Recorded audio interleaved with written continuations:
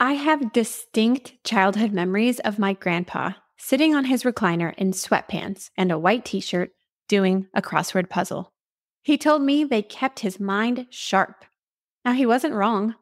Multiple studies have shown improved cognition and less brain shrinkage with regular crossword practice. However, you can't just sit around doing crossword puzzles and expect a miracle when it comes to brain health. The foods we eat have a direct impact on cognitive function throughout our lives. I'm Colleen, a PA, dietitian, and your nutrition mentor. Welcome to the Exam Room Nutrition Podcast, your guide to giving better nutrition advice. Quick reminder that I have a free weekly newsletter where I share useful nutrition strategies and resources that will make you look like an absolute nutrition genius. You can sign up for free at examroomnutrition.com slash sign up. Now, did your grandparents do crosswords too? Well, this episode isn't just about memory exercises. We're unpacking a well researched dietary pattern that, when followed, may reduce the risk of Alzheimer's disease by up to 53%. It combines the best of the Mediterranean diet and the DASH diet, and not only will improve your patient's blood pressure, diabetes, cholesterol, and risk of stroke, but also improve their brain function and prevent age related cognitive decline. Now, according to the World Health Organization, dementia is the seventh leading cause of death globally, while genetics and other risk factors do play a role, research shows lifestyle factors, especially diet, can make a real difference. Now, in 2024, when achieving a certain body size is all the rage, brain health often takes the back burner when it comes to health. But ultimately, we all want to live a long, healthy life, and nourishing our brains is the best way to do so. So, my guest today is going to unpack the mind diet and share practical ways we can encourage our patients to fuel their brain. Now, two of her tips are hands down the smartest ways I've ever heard to help our patients eat more fruits and veggies. Maggie Moon is a best selling author of The Mind Diet, a scientific approach to enhancing brain function and helping prevent Alzheimer's and dementia. She is a Columbia University educated, culinary school trained, registered dietitian with clinical training from top ranked New York Presbyterian Hospital of Columbia and Cornell universities. She consults for government agencies, national nonprofits, global brands, and serves on multiple expert advisory boards. Now, if you've ever wondered how to help patients prevent cognitive decline, or if you're interested in the latest evidence on diet's influence on brain function, this episode is for you. By the end, you'll have actionable strategies to bring into your practice that can help your patients improve their brain health at every age. All right, let's get started. Well, hey there, Maggie. Thank you so much for being here. Welcome to the show. Thanks, Colleen. I'm so happy to be here.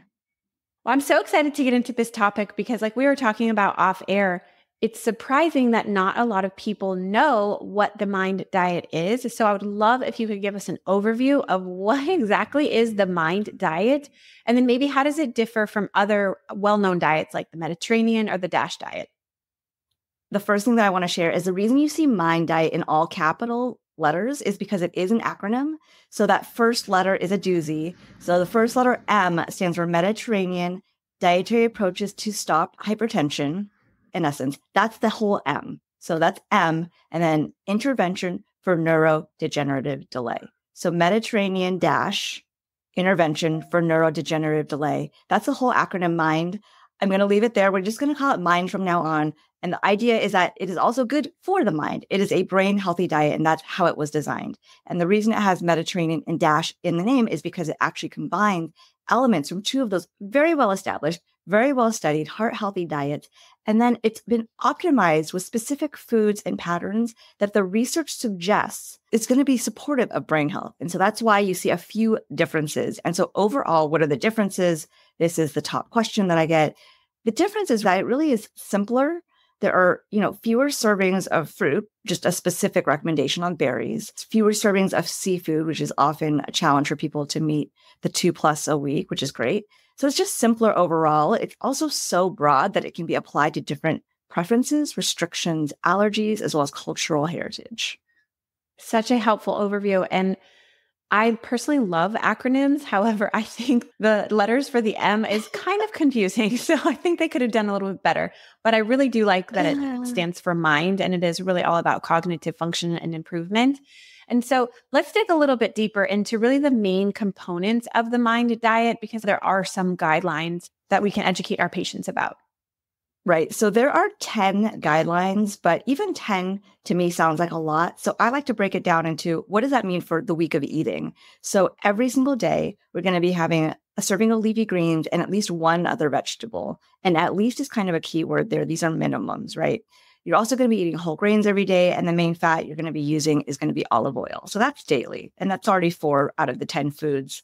And then about five times a week, so you can think about that as your work week, you're going to be eating nuts. So I like to think of that as why don't you snack on nuts and then incorporate it other other places as well. And then about every other day, it works out to about three to four times a week. You're going to try to incorporate beans. And again, these are minimums. And then twice a week is when you're going to enjoy lean poultry as well as berries. And then once a week, there is a recommendation for seafood. The other recommendation that I'm leaving for last is a daily five ounce glass of wine, typically a red wine, but is 100% optional, especially since we've seen some of the newer science come out about, about drinking alcohol. Okay, I love how it's pretty simple. Like it sounds like it's pretty simplified. And I do really like how it looks at the diet in total throughout a week because I feel as though people can get really hung up on like, oh my gosh, I didn't have my fruit today.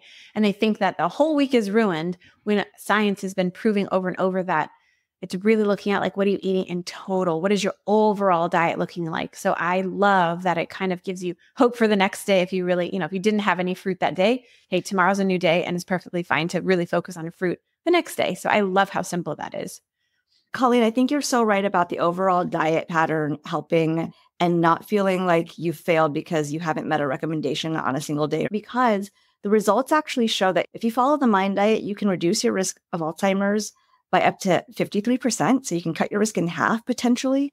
And then you're also going to be able to slow down your brain aging by up to seven and a half years.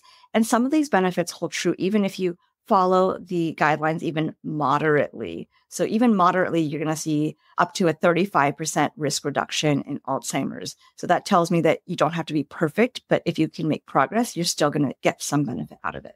Seven and a half years, that's huge you know, that's almost putting on a full decade to your life. So I love that. And I really like how it's doable and it's encouraging too, because, you know, we are in the day and age of like everything is toxic. You can't have this, you can't have that. And God forbid you have a bowl of Fruit Loops, you're going to like turn into red dye number 40 overnight. You know, I really like how this is very practical. And it's like even small changes really, really do add up. And when you look at it in a week, it's not that hard to eat that much beans or that many berries when you spread it out over a week. All right. So we've talked about what foods are included. Now, what foods or maybe ingredients are limited or altogether avoided in the mind diet? And then can you explain why that would be?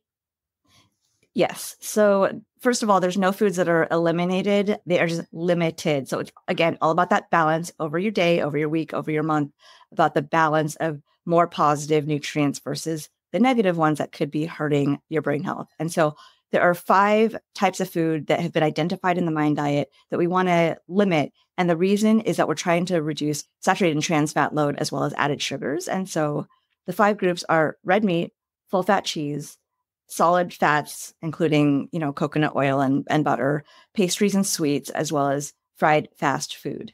And I just want to share that your listeners might be interested in that the way this diet was originally created was based on a United States food frequency questionnaire. So these are the foods that are going to be contributing the most to these food groups. And that's why they were in particular chosen. But we're clinicians, so we we can use our common sense. So if we're working with a patient and there's a food that is a little high in saturated fat or added sugar and it's not on this list, we know enough to guide them to reduce those as well. I love that you pointed out that the guidelines say limit, not eliminate because that is a big one. And that is a really difficult piece of change and making healthier choices for patients when they go on these like hard and fast rules and complete avoidance because we know that restriction leads to binge eating and obsession and so i i love that that's the key word is that hey let's try to limit or reduce and as opposed to just you can never have any pastries or sweets ever again. no one wants to hear that. So I really like that you made that distinction there. Okay, so you mentioned that the mind diet helps with Alzheimer's and cognitive function, but I'm curious as to what patient populations might benefit from following this diet. Well, Colleen, most of the research is in anywhere from the middle age to the older adult because that's where we can see some of the benefit. But, you know, since the first two landmark studies on the mind diet came out in the fall of 2015, there have been over 150 papers that I've reviewed since then. There have been even more, I'm sure, but last I cut off my lit search, it was 150. And they cover all age ranges and several different conditions. And because the mind diet is based on Mediterranean Dash, we know it can be safe and healthy really for any age group young, old, pregnant. So it's really appropriate for anybody and will support brain health at any age. But when people ask me when is the critical time for this to make sure that these habits are, are cemented and, and developed, it's really in middle life, midlife, in our 40s. We know from recent CDC information that one in nine adults over 45 actually complains about subjective cognitive decline, which is the worsening of memory over the last 12 months. It's a self reported thing. But what it tells me is that we, we're not waiting for a, a diagnosis in our 60s and beyond when our, you know, our risk increases so much of cognitive decline. But even earlier, t- decades earlier, we're, we're noticing these small changes. And I think that's a great wake up call for people to start paying attention to how to live and feed their bodies to nourish their brain. I think it's never too early and it's also never too late to really make improvements on your health and on the foods that we choose to fuel our bodies with. So if you work with patients, elderly patients, now's the time to start. If you're working with people in their 20s and 30s, why not start now? You know, there's there's nothing I would say new about the foods that we're recommending. Dietitians have been shouting from the rooftops, eat more fruits, eat more vegetables, eat more beans for uh, decades. But this is just a, a, different package. And I think that the studies are really showing that this combination of eating is really, really critical. So I would suggest this for any any age population of patient. And I think that they'll see health benefits, regardless if they're worried about their memory or cognitive health. And that's what I wanted to ask you. Are there other medical conditions that the mind diet would be helpful for? Well, because it is based on heart healthy diets, anything having to do with cardiometabolic health you'll see a benefit. So, an easy way to think about it is anything where you would have recommended a Mediterranean or a DASH diet is likely to benefit. So, cardiovascular health, diabetes, these conditions will be supported by this eating pattern as well. I love that about this dietary pattern as well, because when you have a patient, and reality is a lot of our patients in the adult population do have obesity, they do have diabetes, they do have high blood pressure, they probably have fatty liver. You don't have to manage these four conditions differently with a different quote diet. This meal pattern can work for all of those and it would prove beneficial and improve those markers to all of them. So I really like that it simplifies our work as providers of like, hey, let's just talk about this one dietary pattern because guess what? It's going to improve all of these other medical conditions that you have. And so I really like that that makes it really, really simple. Yeah. And, you know, people are really motivated about preserving their cognitive health. So if that's the way in, there are all these happy side effects, like you said, better heart health, better overall health, even better mental health. There's been some research on the mind diet and mental health as well, which, you know, you're not surprised to hear once you learn about it being nourishing for the brain. It's the same organ. So, you know, the other thing, Colleen, that you made me think of when we were talking about the all ages and, and life stages that the mind diet would be good for is that you know there there really is this continuum of how the brain is developing from in utero all the way into older adulthood and it's not static stages it's not you know synaptic development pruning and then loss. It's really constantly these these processes that the brain is is undergoing are overlapping throughout our entire lives and all of that requires nutrients to support the literal structure of the brain, protecting it, repairing it throughout our whole lives. So whether we want to be sharp in the boardroom or we want to, you know, be a good student and a good learner to we want to preserve our memories and live independently later in life, nutrition is going to be a fundamental piece of that. There's some really cool data on a morning mixed berry smoothie improving mental performance for students. And there's also research on walnuts and reducing stress in a college exam situation. So, you know, I think parents want their children to be the best that they can be and they want them to perform the best they can in school. And so there is that aspect as well that could be attractive to people.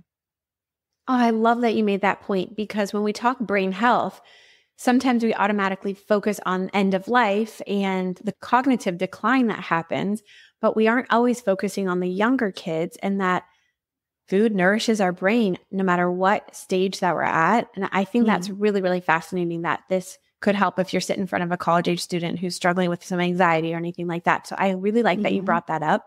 I'm curious if you know if there's any literature with the mind diet and ADHD or autism. Has there been anything studied in those two areas? So there's been interest, but what I will say is that we don't have enough to feel comfortable sharing beyond that.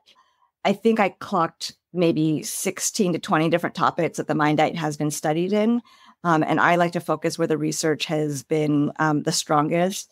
And some of these conditions that you're speaking to, there's interest, but there just isn't enough science there yet. So it's a space that I'm watching. Um, but right now we might have case studies. And the trend is positive. You know, I would say from a clinician's point of view, you can try it. It's just I don't have like a huge body of literature to back it up.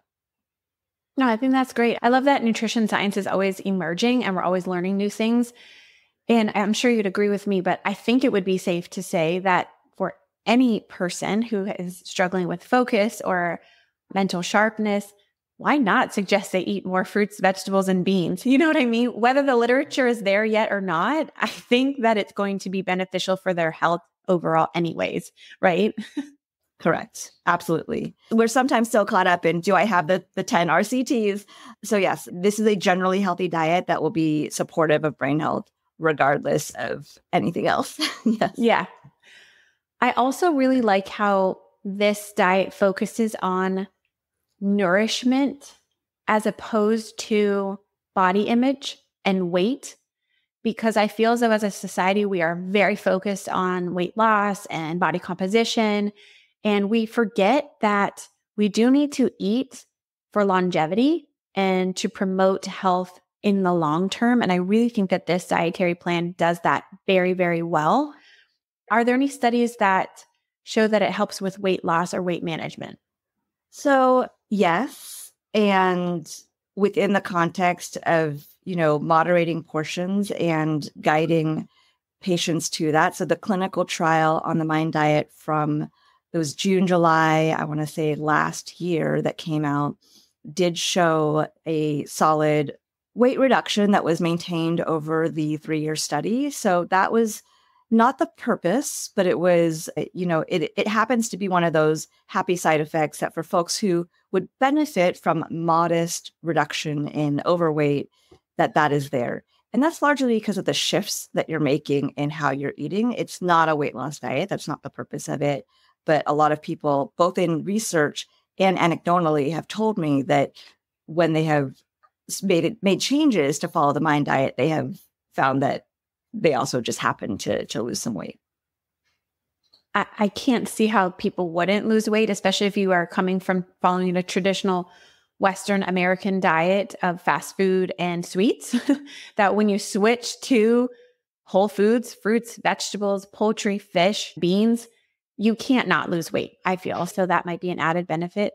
But again, I think as providers, I think this is a really helpful and important mindset shift that if that patient is eating, you know, two to three cups of beans a week, two to three cups of berries a week, that is going to help their life overall in the long term, even if we don't see a six week window of weight loss, because I think that's an important shift for society at large.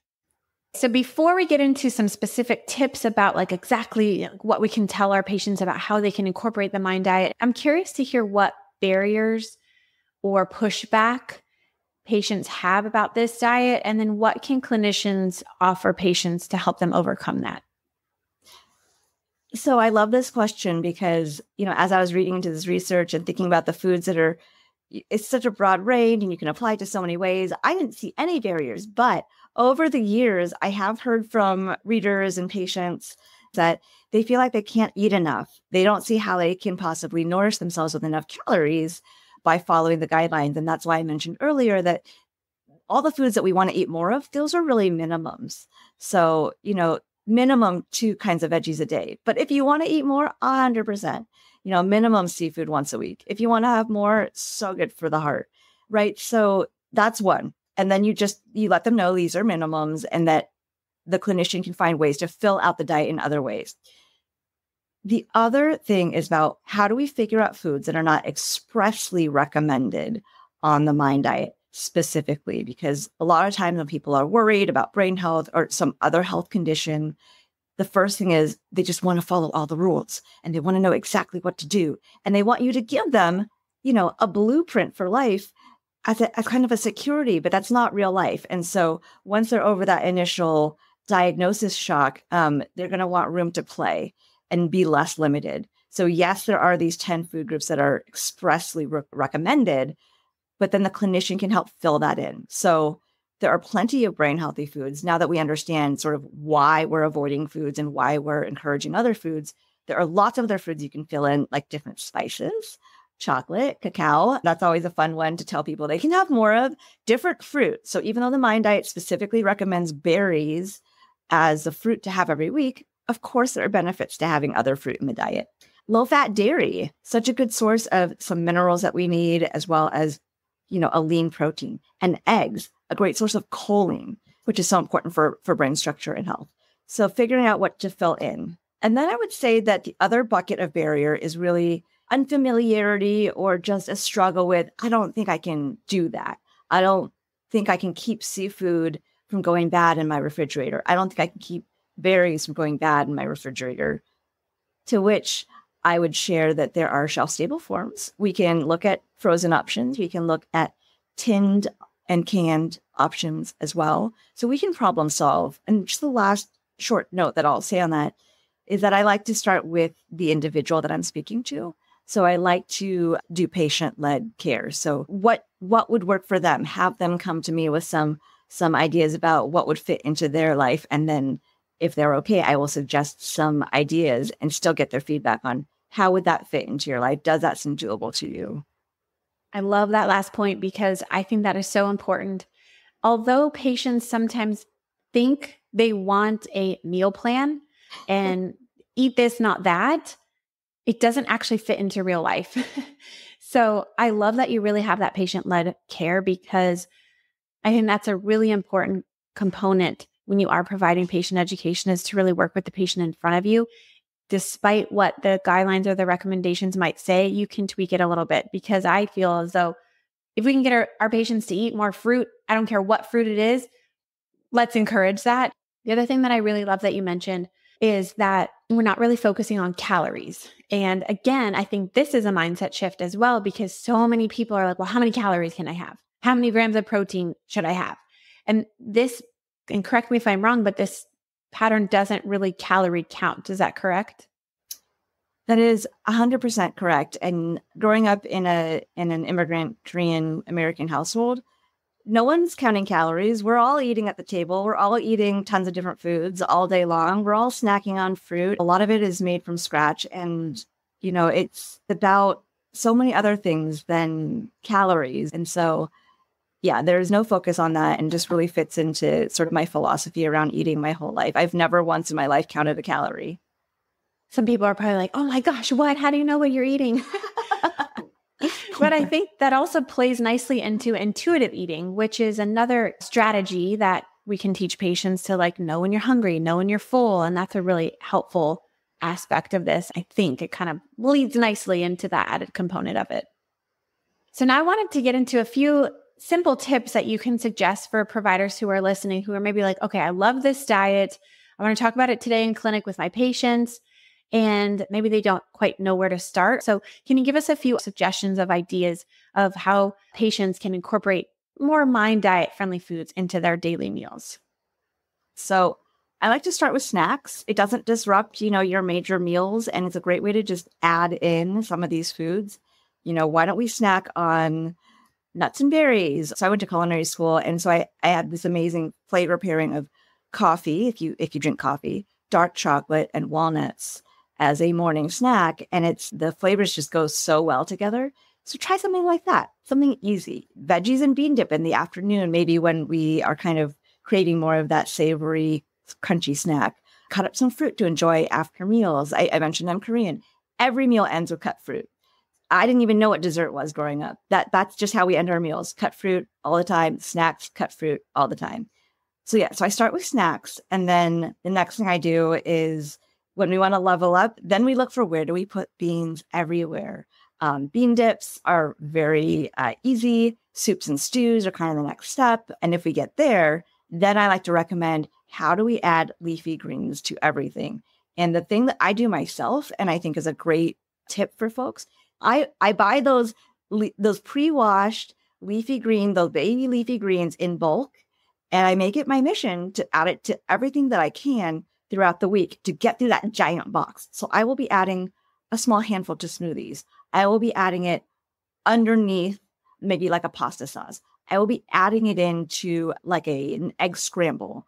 I will be also making salads. That's sort of easy. And look, there's also real life. So if I've got a takeout meal that I'm reheating, I will reheat it and put it on top of a bed of greens so that by the time I'm done with that takeout, I have this wilted green yumminess that's that's soaked up the flavor from from those leftovers. So where do we add leafy greens everywhere?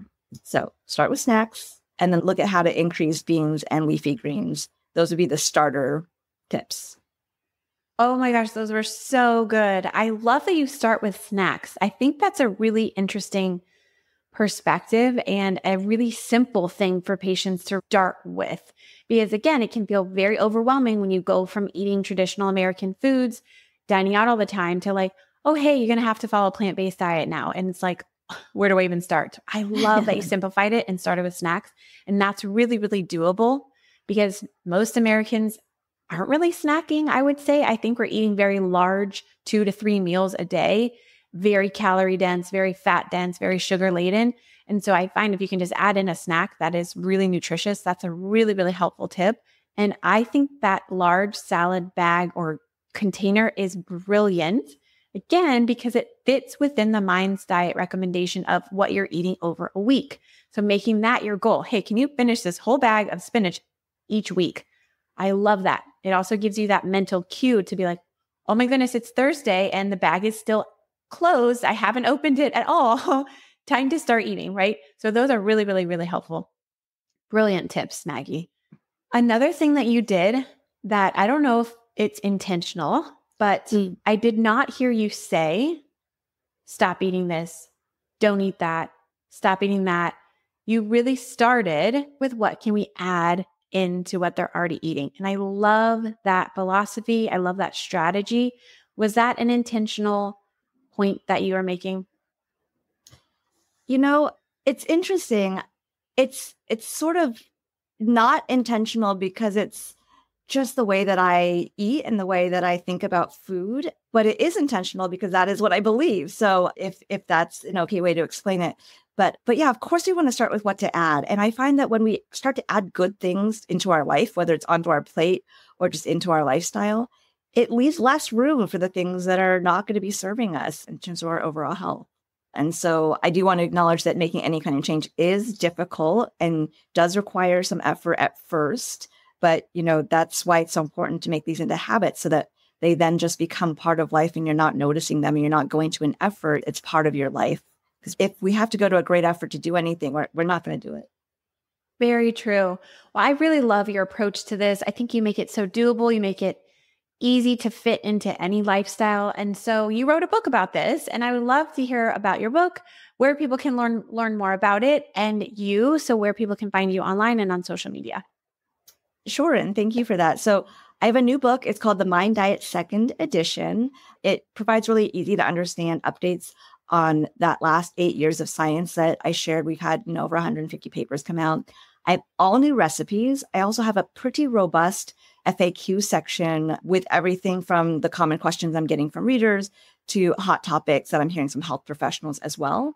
And there are worksheets on how to assess your diet versus the mind diet, meal planning, shopping lists, guides to brain healthy foods, and all kinds of tips and more.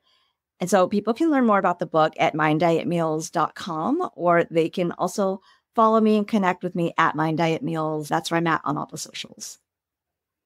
Okay, Maggie, I have to say this conversation is so intriguing to me. I'm turning 37 this year, so I'm in that like window of like, I got to start focusing on my brain health a little bit more. And even though I'm a dietitian, I generally do eat healthy. I'm definitely picking up your book because the fact that there's like recipes and tips and FAQs and myths and all that, like it's going to be so, so helpful. So if you are interested at all in improving your cognition, preventing Alzheimer's, and just improving your overall health and longevity, go pick up this book. I promise you, it is full of great, great tips and information. Maggie, I would love to have you back on to continue this conversation. But until then, thank you so much for the gift of your time. This has been such a joy talking with you. Oh, well, thank you, Colleen. I've enjoyed the conversation. Now it's time for my nutrition notes. Now, it's one thing to just learn about nutrition and medicine, it's another to put that knowledge into actionable steps for your patient. Each patient comes with their own unique medical history, food preferences, lifestyle, and little quirks that knowing how to guide them can be really tricky. When I was a new grad, I felt really overwhelmed with this. And one of my mentors once told me to identify my patient's personal risk factors for poor health and then tackle the biggest ones first. Do they need to lose weight, exercise more, eat a healthier diet, lower their blood sugar, lower their cholesterol levels? Tackle the most pressing issue first. And I love this advice, but often by improving one marker for health, will improve the others as well. And that's what I love about the mind diet. It helps so many things simultaneously. And like Maggie said, some patients will be a little frustrated at first with the lack of a quote meal plan from the Mind Diet, but there are so many resources online. And so I wanted to give you a quick overview of the 10 foods that the Mind Diet encourages. Number one is green leafy vegetables. They should aim for six or more servings per week, which includes kale, spinach, and other greens. All other vegetables are encouraged. They suggest to try to eat another vegetable in addition to the leafy green vegetables at least once per day. Number three is berries. Encourage your patients to eat them at least twice per week. Any berry like strawberries, blueberries, raspberries, and blackberries because of their antioxidant benefit. Number four is nuts. Encourage them to get five or more servings of nuts each week. Now, the Mind Diet doesn't necessarily break down which type of nut to consume, but a variety is probably best. Number five is olive oil. They encourage using olive oil as your main cooking oil. Number six is whole grains, encouraging them to have at least three servings a day, which is about one slice of bread or half a cup of cooked grains. Remember, whole grains include things like oatmeal, quinoa, brown rice, whole wheat pasta, and 100% whole wheat bread. Number seven is fish. They encourage fish at least once per week and choosing fatty fish like salmon, sardines, trout, tuna, or mackerel because of their high amounts of omega 3 fatty acids. And like Maggie had said, if your patient likes fish and wants to consume more than once per week, that is perfectly fine. Number eight is beans. Encourage them to include beans in at least four meals per week. This includes all beans, lentils, and soybeans, so they can have a variety they don't just have to stick with rice and black beans, for example, every night. Number nine is poultry. Encourage them to eat chicken or turkey at least twice per week. And they do note that fried chicken is not encouraged on the Mind diet. And lastly, number 10, they encourage no more than one glass per day. Both red and white wine may benefit your brain, but the research is shifting a little bit here with alcohol. So if your patient does not currently drink alcohol, you do not need to encourage them to start. Achieving and maintaining health does not have to be impossible. So let's not make it overwhelming for our patients. And I hope that you enjoyed this breakdown of the Mind Diet. That's all I've got for you this week. Thanks for tuning in and listening to my podcast. If it was helpful, go ahead and grab the link and share it with a colleague. As always, let's continue to make our patients healthier, one exam room at a time. I'll see you next time.